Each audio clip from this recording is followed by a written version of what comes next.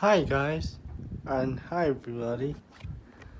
Let's say you have one of your old TVs, old 2007 TVs, and if you want to connect it up to modern technology like uh, I'm Fire Stick. I got so many adapters here, I can't explain all of them, but I have one that go charge in to coax, and I got big wire setup. So this hard to first grab your coax.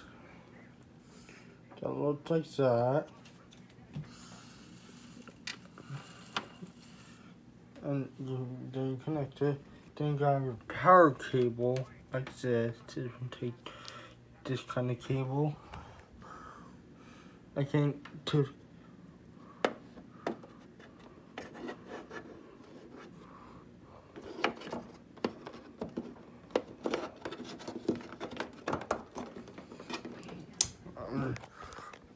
so you got the light